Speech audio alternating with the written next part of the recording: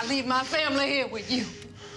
And time they start having babies, I'll be a, a thousand miles gone. And I see you. Still ain't massa. I die every day. But when George and Matilda have children, if you ever touch just one, I'll kill you.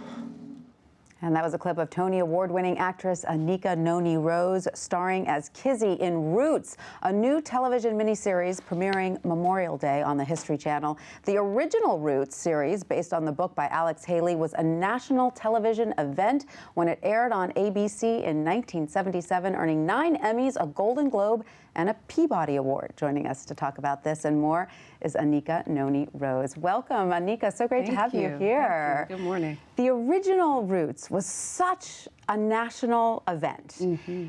And now this one. Are there any of these same players involved in this production?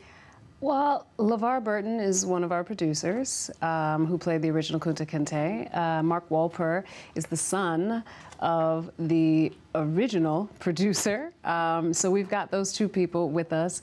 Uh, as far as actors, we don't have any of the original cast that I know of. Right, um, right. That I'm aware of. Right. So, um, but Well, LeVar really Burton lucky. became, I mean, his name became a household name Yes. after Roots aired. It started Yes. such an important dialogue at the time. Do you think that dialogue is just as important now?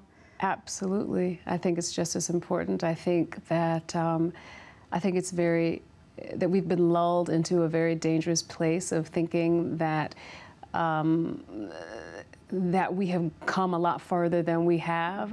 And I think that, you know, now with the advent of social media, we are able to see a lot of injustice that's going on in this country that we just didn't know about um, because we didn't have the tools to have them at our fingertips all of the time. So now that we know and now that we're seeing more and more, I think it's a very poignant time for this to be back and we be able to talk about the formation of this country and us, the heritage of us as Americans and our relationships to each other. Absolutely, and our shared history. Mm-hmm. Now, you play Kizzy.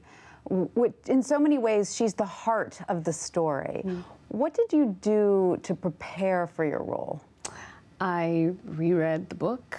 I um, read a, uh, or listened to a lot of slave narratives. I um, read uh, I read a lot of slave narratives, and and I visited a plantation um, in, in not in, in New Orleans, but outside of New Orleans, called the can't think of the name of plantation, but it's the only plantation in the United States that tells the story of the enslaved persons from their viewpoint. Incredible. Um, and it is a phenomenal place to visit and to really take in. They have what I call our Wailing Wall, and it has the names of all of the slaves that passed through that plantation engraved on the wall with parts of their stories, and the Garden of Angels, which is dedicated to the over 2,000 children who were lost on that plantation. It's it's phenomena. And phenomenal. what do you think of Kizzy? What, what is it that drives her? What is, what is at the core of Kizzy? survival. Um, and I think that's not enough. So, love, because she was very loved growing up. She was very lucky to be raised by both of her parents, although in a very unfortunate situation.